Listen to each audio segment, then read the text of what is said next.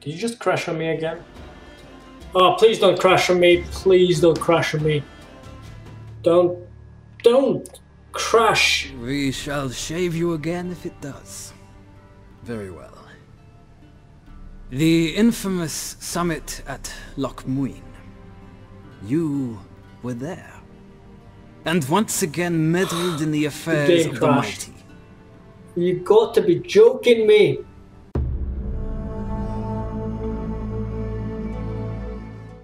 Hey guys, Gizmo here, and let's get straight to the point. The game is out and everybody is enjoying. However, a lot of us, including myself as you can see, the game has been crashing randomly, just freezing, and there's been a lot of feedback on those things. Like, uh, a lot of people are complaining that it's freezing when you're using your inventory, or just randomly just freezes with the music still playing on the background. So what I did is I went through all the support tickets and I went through all the threads on a Reddit as well as on uh, CD Projekt Red forum as well as looked up um, the GOG troubleshooting uh, guide. And uh, I put together a short list of few things that hopefully will improve your gameplay. Now just bear in mind that this will not fix it. This is because most likely because there's issues with drivers and the game itself, so we have to wait for CD Projekt Red to release a patch, most likely to fix most of these issues. But saying that, these things will probably improve your gameplay stability a lot, and hopefully it will make it better for you, and you'll be able to play at least longer than 30 minutes or an hour like I had in the beginning. And it definitely did improve my game stability to begin with. So let's start off then guys. Uh, first things first, before you do anything else at all, do a clean install of your uh, display drivers. For that, go get a display driver uninstaller. You'll find a link in the description for it. Install it and cleanly remove any of the drivers that you have at the moment. You will recommend you to do it in safe mode. This is what I did and then proceed and install the drivers again from their respective website. I'm using NVIDIA, so GTX mine is GTX 970. A lot of GTX 970s and 980s was having a lot of trouble with the crashes, so um, go to the download drivers webpage and it has been recommended to get the previous driver, the ones that were meant for GTA 5. Now to get that, all you do is go to the download drivers page and then you click beta drivers and archive you choose your product and you search and then you want to have this one here the Grand Theft Auto ready game drivers download that once you've cleanly removed the previous drivers reinstall that cleanly and what I mean by this is that when you're installing the drivers, do not do express installation, but rather do clean installation. So what I mean is that when you are installing a driver, at first in, at the installation options, choose the custom option, and then thereafter make sure that you tick the box for perform a clean installation. Once that is done, you should be good to go. Once you have installed the drivers, next thing you do is go to your NVIDIA control panel. Once that is open, go to manage 3D settings once that is open, go to program settings and wait till it populates your programs over there. Once it has populated the programs for you here, go choose your Witcher 3 exe file. If it's not there, all you need to do is click add and from there you go browse. Go into your Witcher 3 folder, which is where you install your game.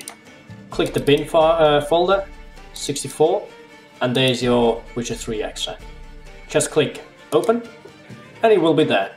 Once that is selected, scroll down to power management mode and make sure you choose prefer maximum performance.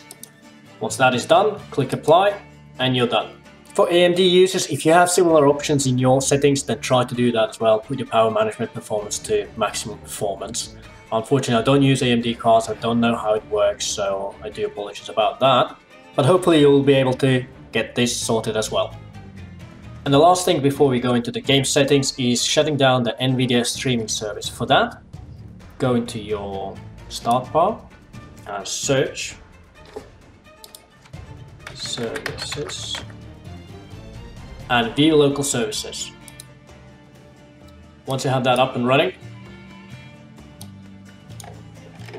all you need to do is scroll down and find the NVIDIA Whoa, whoa, whoa, what's that? NVIDIA Streamer Service. Right click on that, click Properties first, click Stop.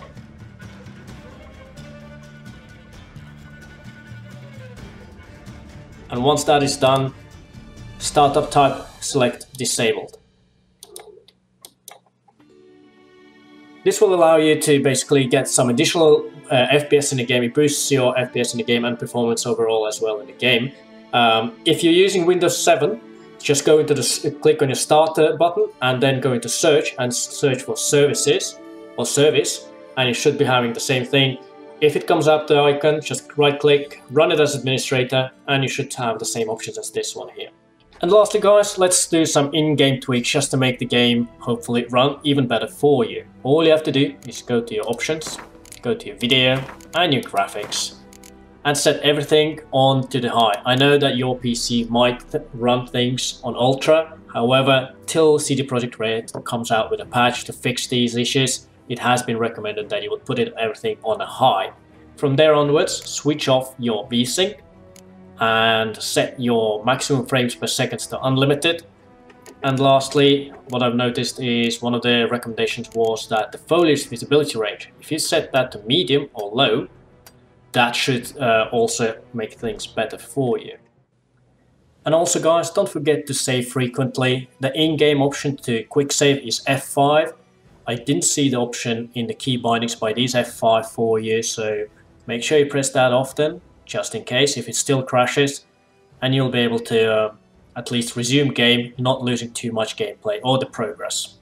So there you have it guys, these are just some of the improvements that I have come across that people have recommended and have improved the gameplay in overall. I have included also links to both the subreddit as well as the technical support in the CD Projekt Red forums, as well as on the GOG itself troubleshooting page, so that you can have a look if there is because there's a lot more a lot more information given, and you can try out even further things if you want.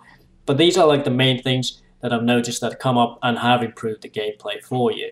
So hopefully it works for you guys. If not, please let me know in the description and uh, we'll see what else we can come up with. If you find this useful, please share it, show it to everyone else and hopefully it works for you. Hopefully you'll be able to play the game without crashes and uh, the game will be better and you can enjoy it to the fullest. Thanks for watching, this has been Gizmo from Two Old Gamers and please subscribe for more Witcher 3 related videos and I hope you enjoy the content and I'll see you later. Thanks for watching.